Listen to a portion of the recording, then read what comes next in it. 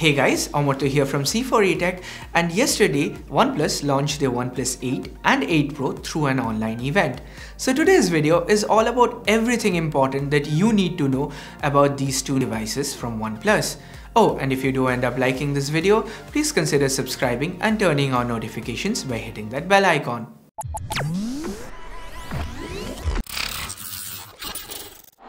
So design-wise, both the OnePlus 8 and 8 Pro borrow heavily from previous gen OnePlus phones, like the OnePlus 7T Pro, the OnePlus 7 Pro, and even the OnePlus 7. There's a slight difference between the backs of both phones though. They share a similar looking camera bump, but the flash on the OnePlus 8 is to the bottom. On the 8 Pro, we have a fourth camera and the flash module sitting snug to the left of the main camera bump. Now we'll come to these cameras in a bit, but first let's take a look at the rest of the build. Like most other flagships, we have a glass sandwich design in here that is protected by Corning's Gorilla Glass on both sides. Holding them together is this metal frame. As far as the button placements go, we have volume up and down keys to the left, the power button is to the right, and slightly above that is OnePlus's alert slider. This has been a classic feature of the brand from the OnePlus 2 days, and it continues to live on with the OnePlus 8 series of devices. As far as IP ratings go, we have a very interesting situation here. So the global version of the OnePlus 8, that includes the one that would be sold here in India, will not have an IP rating. So basically similar to what we have seen with the OnePlus 7T before. However, the twist here is that the same OnePlus 8, when sold by the US carriers, does come with the IP68 rating. Now, considering the fact that the hardware used in both phones are nearly identical, the global version of the OnePlus 8 should also be IP68 waterproof. But OnePlus, for some reason, has chosen not to certify it. With the 8 Pro though, things are much simpler. It comes with an IP68 water and dust resistance rating. Taking a look at the front, we have full screen AMOLED panels on both phones. There's a tiny punch hole to the left that holds the 16 megapixel selfie shooter. The bezels here are minimal and the panel curves towards the edges like the S series from Samsung, giving us the illusion of an end-to-end -end display. According to DisplayMate, the OnePlus 8 Pro has the best smartphone panel out there, with the regular 8 also performing pretty well. That's where the similarities between the two panels end though. On the 8, we have a smaller 6.55 inch Full HD plus 90Hz display. Looking at the spec sheet, it kind of seems similar to the AMOLED panel that we had seen on the OnePlus 7T. The only apparent difference being the water drop notch that's now replaced by a punch hole. The 8 Pro on the other hand has a bigger 6.78 inch screen. The resolution is higher too, Quad HD Plus like we had seen on the OnePlus 7 Pro. The icing on the cake here is the refresh rate. The OnePlus 8 Pro can go up to 120Hz at QHD+. Accompanying that, we have a 240Hz touch sampling rate. Now we have seen the S20 series sport Quad HD panels and 120Hz refresh rates, but Samsung has disabled the 120Hz at the highest resolution over battery life concerns. OnePlus though lets us crank up the refresh rate all the way to 120Hz even at the highest resolution. So how does this affect the battery life on the 8 Pro? Well, we'll have to wait and find out. To take advantage of the high resolution screen and increased frame rate, OnePlus has also included a dedicated MEMC chip on the 8 Pro. Basically what this does is it takes content that's been shot at 24 or 30 frames per second and then interpolates the frames in between to artificially inflate the frame rate. OnePlus supports this with video content on multiple apps like Netflix, YouTube and even VLC Media Player. Now we have seen this same technology being used in TVs before and it's never really impressed me much. So it remains to be seen if it does any better on the smallest screen. Now one thing that should be better with the new devices is the sound experience.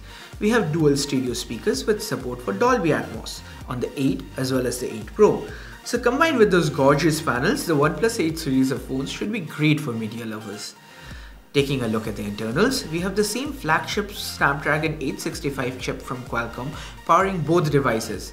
That, coupled with high refresh rate displays and Oxygen OS, should result in a really smooth user experience. OnePlus phones have always been excellent when it comes to performance, and we expect that the OnePlus 8 and 8 Pro will continue on the same path. Given the flagship hardware, I expect everything from day-to-day -day tasks to intensive games to run really well here. The main draw of this generation of OnePlus devices though is that both phones are 5G enabled. Speaking of connectivity, we also have support for the latest Wi-Fi 6 standard. Moving on to the memory side of things, we have 8 and 12 GB RAM options on both phones, paired with 128 or 256 gigs of UFS 3.0 storage. As with any other OnePlus phone, we don't have support for microSD here. Well, not quite. There was one OnePlus phone that actually did come with support for microSD. If any one of you remembers the name, then leave it in the comments down below. As far as battery life goes, we have a 4300 mAh battery on the OnePlus 8, while the 8 Pro sports a slightly larger 4510 mAh battery. This leads to an about 10% increase in weight from the OnePlus 8 to the 8 Pro and an added half a millimeter in thickness. Given the middling battery life of the 7T and 7T Pro, I'm really happy that OnePlus decided to increase the battery capacities this time around. The charging speed though remains the same. We have Warp Charge 30T on both phones. Along with wired, we now also have 30 watt wireless charging on the OnePlus 8 Pro. Like we saw with Xiaomi's 30 watt wireless fast charging solution on the Mi 10, this one too uses a proprietary solution. The Warp Charge 30 Wireless from OnePlus is a $70 wireless charger that OnePlus claims can take the battery from 0 to over 50% in just half an hour. The 8 Pro also supports other Qi chargers as well, but the charging speed is limited to only 5 watts. Now pushing 30 watts of power over induction coils would generate a significant amount of heat, which is why I guess OnePlus put in this fan on the back of their wireless charging solution to keep the 8 Pro from heating up way too much. We also have support for 3 watt reverse wireless charging, good enough for charging your truly wireless Bluetooth earbuds of choice. Yep, that's what most people will have to opt for since there is no headphone jack here on either models. Finally, it's time we talked about the cameras. We have a triple rear camera setup on the OnePlus 8. It comes with a 48 megapixel primary camera with support for OIS as well as EIS and an f1.75 aperture lens. This uses the Sony IMX586 sensor from last year. We also have a 16 megapixel ultra wide and a 2 megapixel macro sensor. Once we get our hands on the device, we will test this camera config out for ourselves. But on paper, it kind of looks like a downgrade really. The 7T came with a 12 megapixel 2x telephoto camera. The 8 loses that in favor of a dedicated 2 megapixel macro sensor. I mean, we could already take macros with the ultra wide sensor on the 7T, so I don't really know what direction OnePlus is going with this one. As far as the 8 Pro goes, we have a much more interesting set of cameras here.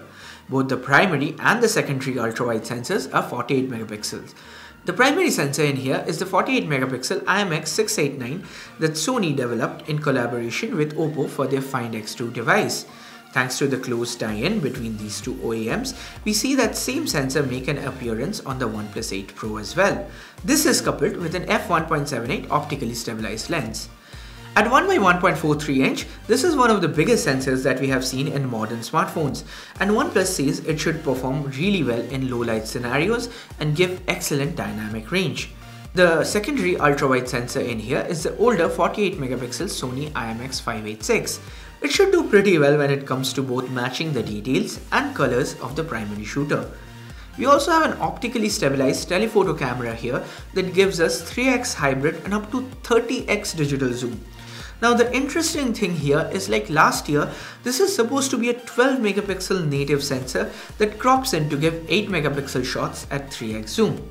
The fourth camera is a 5 megapixel sensor designed to give an interesting filter effect when taking photos or videos. At first glance, it looks like a very gimmicky feature, but I would have to spend some hands-on time with these cameras before giving any final opinions. Finally, we come down to the price. So we don't yet have the Indian prices, but in the US, the OnePlus 8 starts from 699. As for the 8 Pro, it goes on sale from 899 for the base variant. Now the US prices are generally a bit on the higher side, which is why we directly didn't convert them into INR. However, the percentage increase in price from country to country remains about the same. So from the 7T to the 8 is a 16.7% increase in price, going by the US prices of course. So when the OnePlus 7T launched in India, it was priced at around 38k. Now doing the math, the final price of the OnePlus 8 in India comes out to around 45,000 rupees. Now that's before we take the increased GST into account. So with that, we might be looking at somewhere around 50,000 rupees for the OnePlus 8. So at that price, I don't really think the OnePlus 8 is that big of an upgrade from the 7T. We have mostly similar specs across the board and the cameras might actually be a downgrade, at least on paper. Yes, we do have the newer 865 processor with 5G, a new punch hole display, but honestly we get all that from another BBK phone. The Realme X50 Pro is just 40,000 rupees. So that's why I'm not all that hyped about the OnePlus 8. Coming to the 8 Pro, we are still looking at a pretty significant price hike. Last year, the OnePlus 7T Pro launched at 49k, but rumors indicate that this time the OnePlus 8 Pro might launch for somewhere at around 65k. So this means a 15k price hike. But honestly, I'm okay with this one since the 8 Pro seems to be a legitimate flagship from OnePlus. We have all the bells and whistles like 30 watt fast wireless charging, reverse wireless charging, IP68 rating, and what on paper seems to be flagship grade cameras. So this time around, I'm actually more excited for the OnePlus 8 Pro. Yes, OnePlus might end up pricing this around the Galaxy S20 here in India, but even then, this is the first no compromises flagship phone from the brand. That's been my two cents on these two devices. Now I wanna know what you guys are most excited for. And what do you think OnePlus would price the OnePlus 8 and 8 Pro here in India at? Let us know through the comments below. And hey, if you guys did enjoy this video, then please like, share, subscribe and turn on notifications by hitting that bell icon.